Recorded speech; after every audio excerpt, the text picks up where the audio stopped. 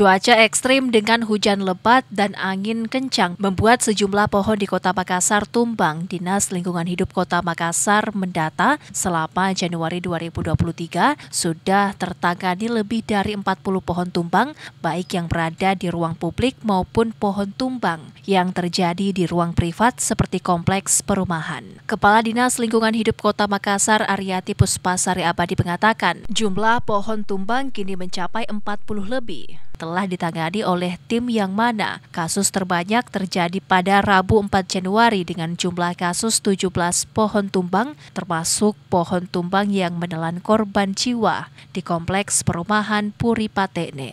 Januari kalau data kami sampai dengan kemarin itu sudah ada kurang lebih 30 pohon yang uh, tumbang kemarin. Iya. Ditambah hari ini, hari ini tuh laporan yang sudah masuk itu sekitar sudah sepuluhan pohon tumbang yang uh, masuk laporannya.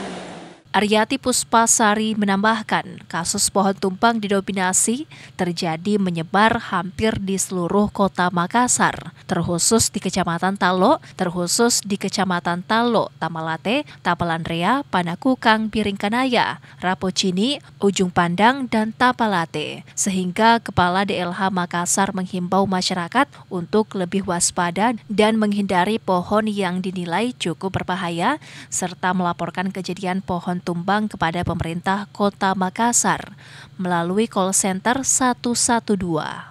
Ira, Fajar TV dan Fajar Radio melaporkan.